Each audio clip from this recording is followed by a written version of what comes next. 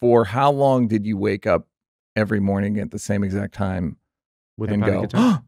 how Yeah. how long did that last? Maybe seven years. Seven years. I used to wake up Every morning, 4 a.m.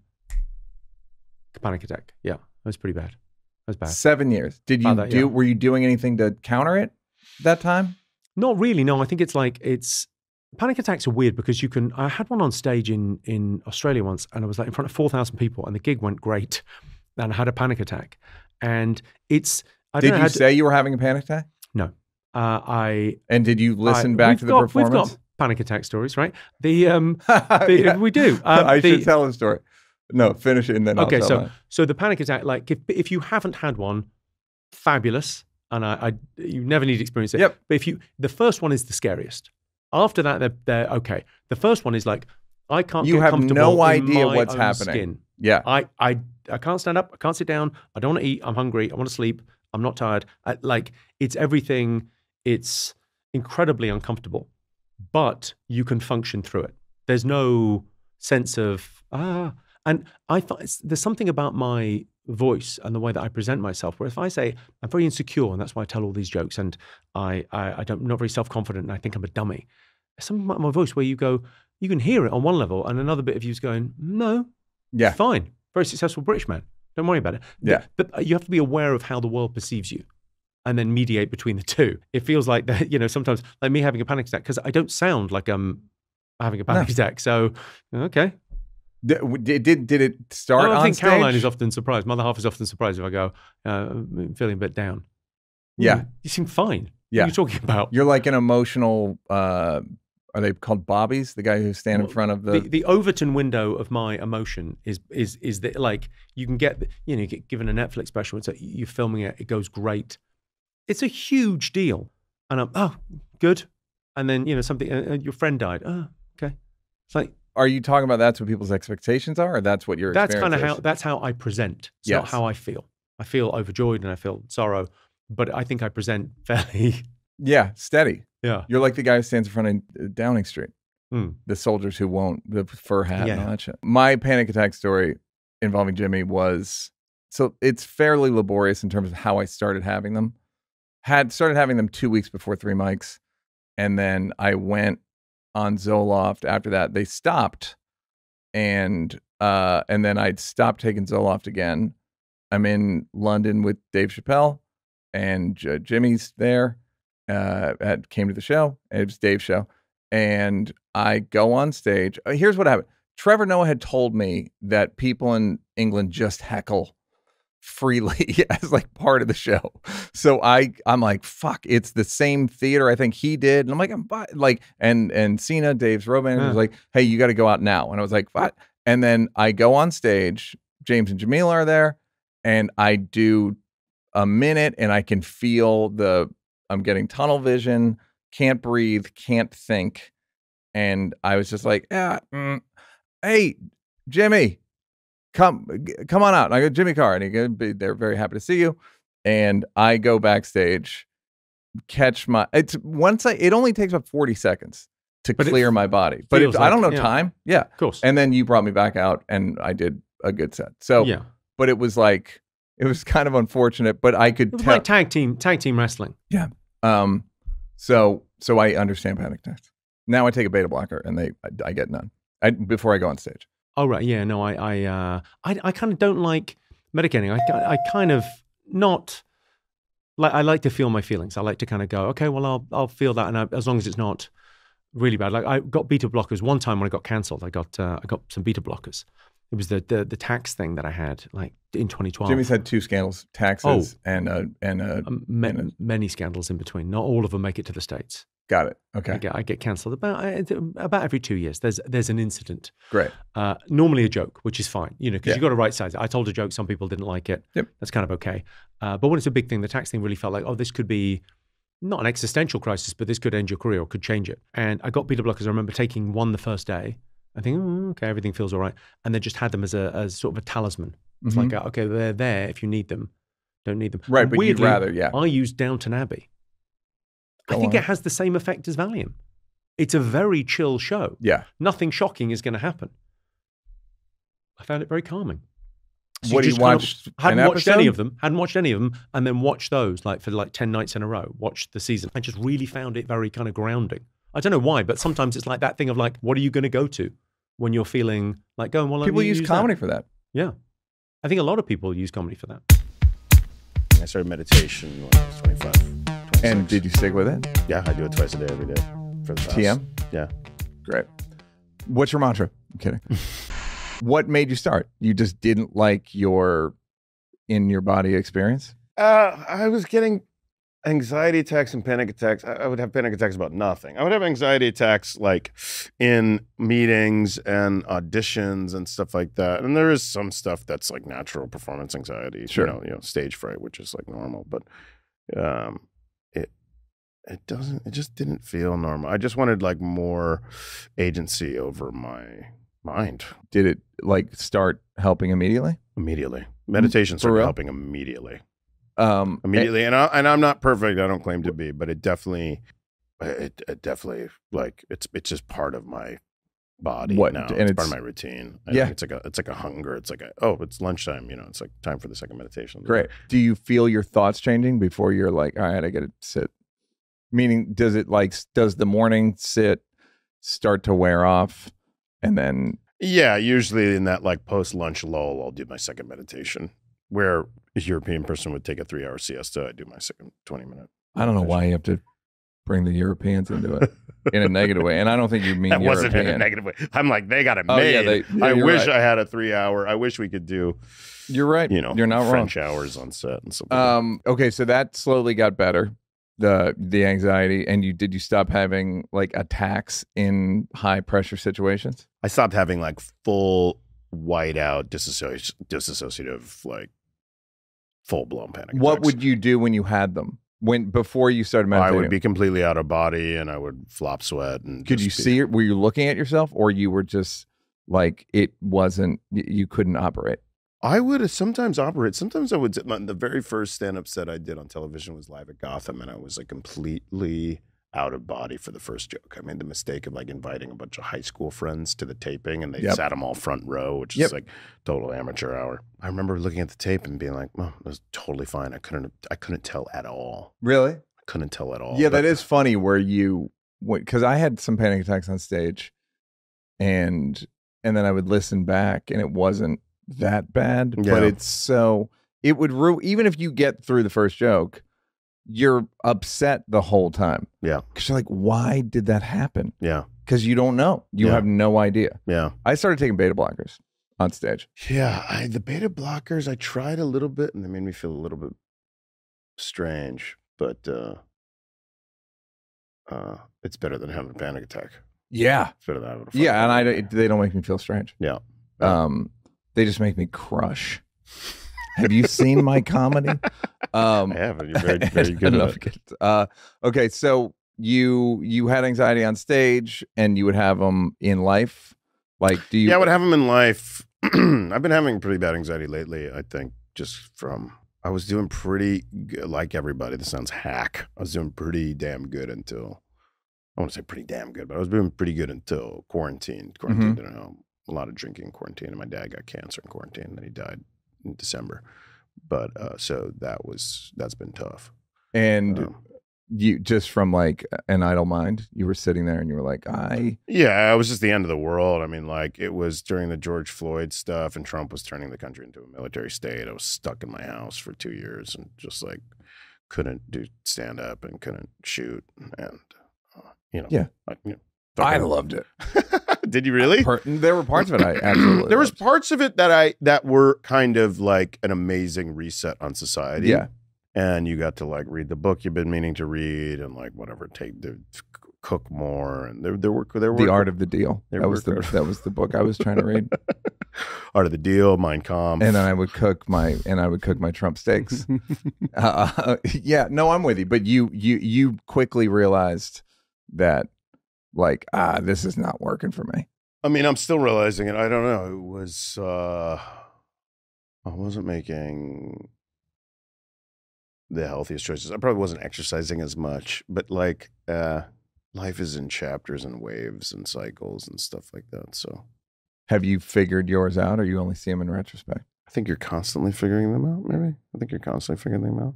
It is like I told Taylor Townsend. It's like you just go like, all right, here's my new idea for how to do it, Yeah, and you just go. It's like a. It's like we all have these like fucking hoopty cars, and we're like, I put tape under the chassis and I'm Uh, wrapping it around, and then I'm gonna run it off uh, peanut oil.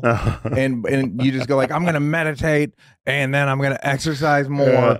and then I'm but I'm not gonna shoot and I'm gonna live here yeah, and you just go like I don't maybe and if it works for a year fucking great yeah. great Yeah, and I also have to when you when you're going through anxiety or, or depression, you feel like you're all alone and you're the only one on earth experiencing it. Yeah. But my therapist says like amoebas have anxiety. Every living creature experiences anxiety in some shape or form. It's the amount and how often you're uh, um, facing it that makes it, you know, potentially crossing over into Small anxiety world. disorder. But like it, every like I used to feel all alone for many years. I f- you f- I felt all alone in my anxiety, but uh, the the world shares my pain. Not more everybody. than not Yeah, more than that. they say Yeah. 10% but it's like it's more than 10% Well, it's gonna be ninety percent. well When you start talking about to, to Yes. other people, like, have you ever had a panic attack? They're like, fuck yeah. Have you Yeah, had anxiety right attack? now. yeah, my anxiety's through the roof. Have you had depressive spells? Yeah. Like when you Yeah. start talking to people about it, you're like, oh, I'm not, I'm not uh, alone. And also, my therapist will be like, you do pranks where people are pulling knives out on you and chasing you with your dick and balls out in the middle of the street. Like Yeah. that's anxiety provoking. You, it's okay to feel. you're a bitch if you feel anxiety you I brought That's you what my therapist you- said. You're a fucking bitch You're if you bitch. feel. and do you want this or not do you want to have do you want to get picked up for a fifth season or Can you not imagine the worst therapist? um So, um, anxiety uh, has been with me my whole life. Where when it really started to show up was when I was about 23, 24. I started having panic attacks and anxiety attacks. where Uh, I was living in New York. I was living in Brooklyn. I was unemployed. I was just out of acting school, um, and they were they would crush me. They would come out of nowhere for no, mostly for no reason. Sometimes for a reason. how did you figure out what the reasons were One of the reasons, one of the triggers was on, you know, when you're taking New York subways and it's just, you're like, and it just stops yeah and it just goes off and it just goes, whoosh, yeah and it's just like deathly quiet. I would start to get a panic attack. Like, we're going to die. I'm going to get crushed. The East River, which is above my head, Yep. is going to fall down. And sweat would start pouring down my forehead. My heart would just start pounding. Uh, my mu- muscles would start would, would start flexing and I couldn't catch my breath and I was certain I was going to pass out. Fortunately, at that point, I had had many of these, dozens of these.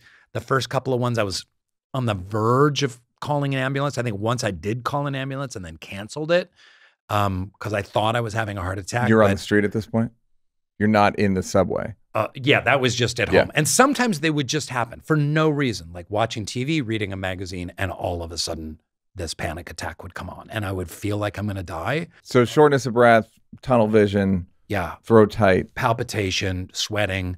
And I was in, I had just started therapy and, you know, got diagnosed kind of with an anxiety disorder. And then it's been 20, 30 years of unpacking. Like, you know, my mom took off when I was a year and a half old. My parent, my dad got instantly remarried in a really unhappy and some would say kind of abusive home situation.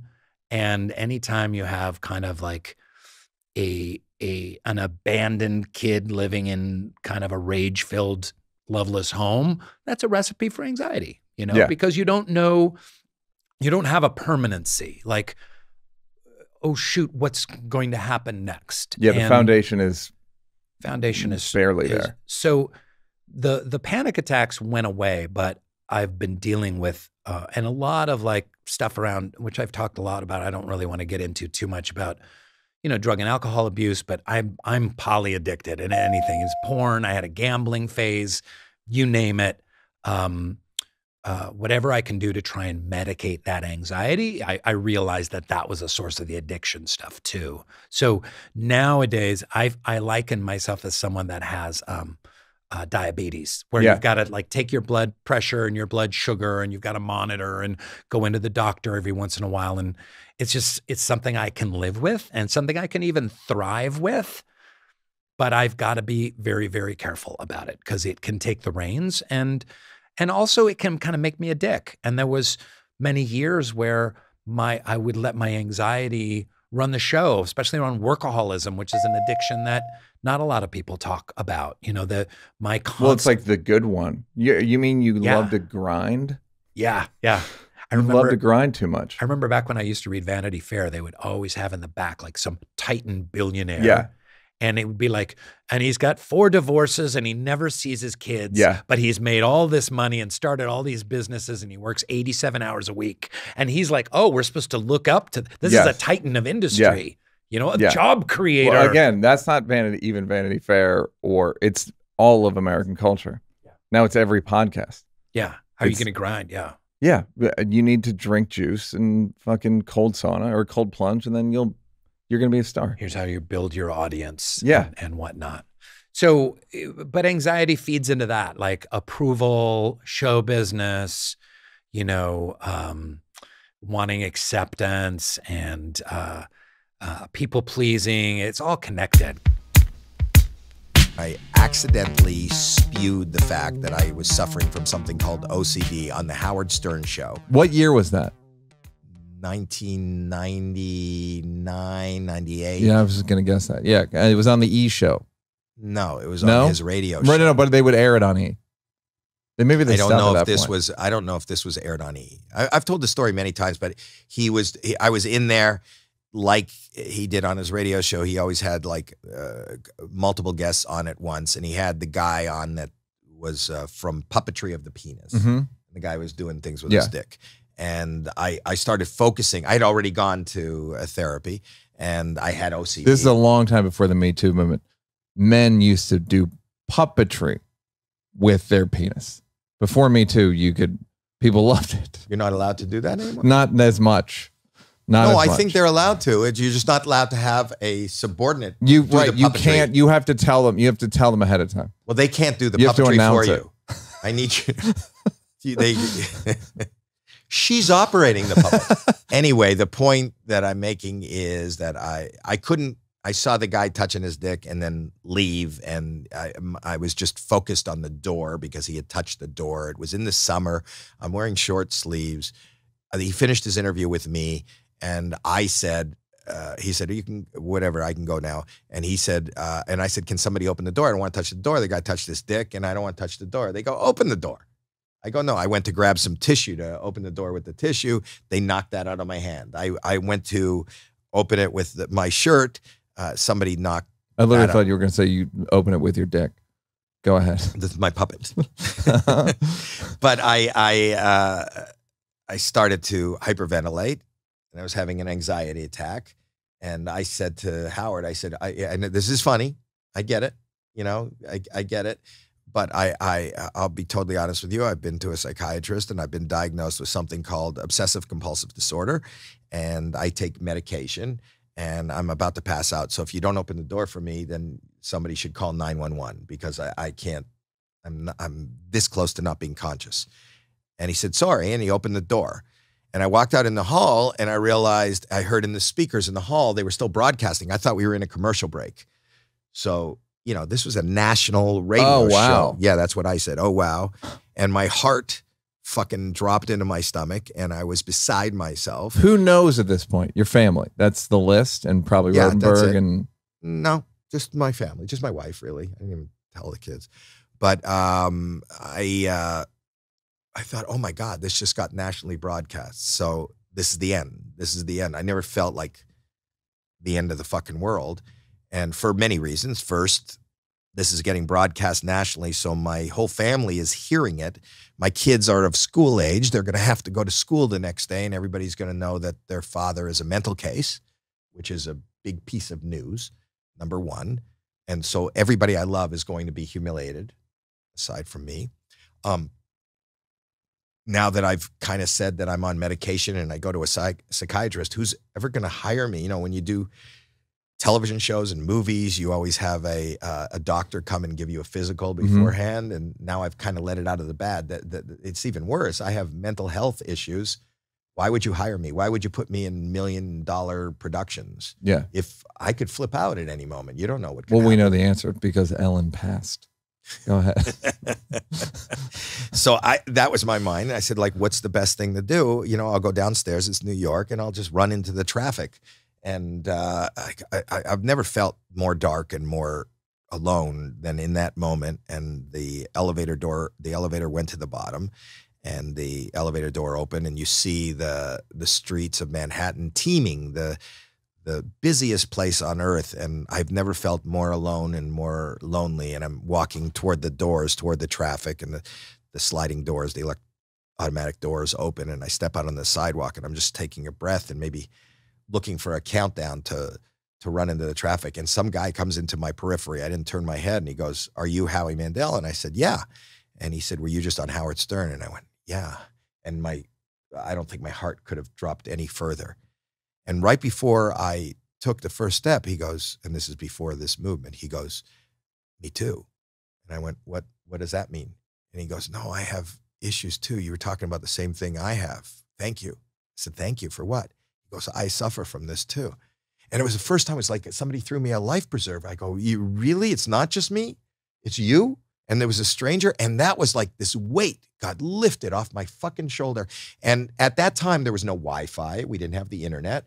And I went home, and in the subsequent weeks, every day I got 50 letters yeah. and mail from people going, I heard you on Howard Stern. Thank you so much. I heard you on Howard Stern. And as much as these people claim that it helped them, I can't tell you how much these messages helped me. So the biggest savior, the biggest opening of a huge block in my life is words, words. And that's why you that's why you doing this podcast is really, really important. It's not only I told you I, I listen to People it. tell me every I get messages every day. People thanking. I, I was really it. honored that you would ask me to be part of it. I love you. I love what you do, and I love the special. But I just think that the fact that you've uh, created a forum because I know how much this helped me. yeah. A forum where people are open. and it's also isn't it's probably still staggering to you how many people it are like living their you in the elevator. What's and then this- someone like you uh, in in this case it's ocd in my case depression or uh, people have anxiety or taylor tomlinson talks about you know or mulaney t- taylor talks about bipolar and mulaney talks about drug addiction and all these things people are like fuck oh yeah.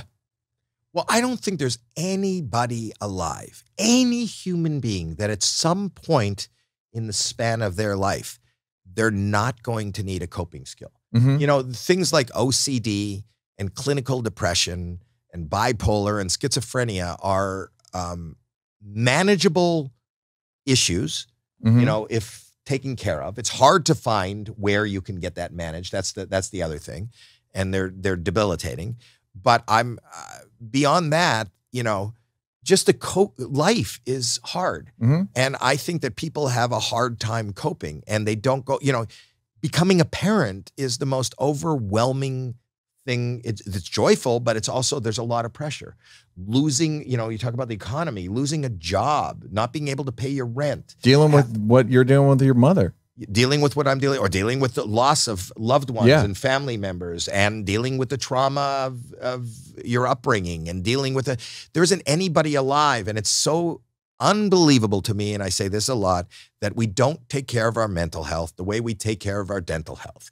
And if somebody you know you'll go to the dentist and get x-rays and go look mom no cavities. There's nothing wrong and you're getting checked. Why is it not part of our curriculum where we can just openly talk or go to somebody and find out get coping skills and figure figure it out and i think that that would be the solve to most of our world's problems Hey, did you like that? Did you like that? Yeah, did you like it though? You want more? Don't want to work? Would rather watch videos of me grab assing with people? First of all, go up here to subscribe. And then go up here to uh, watch more clips. This is like when the weatherman says there's a high pressure system coming in. I'm little, I'm not really used to the green screen.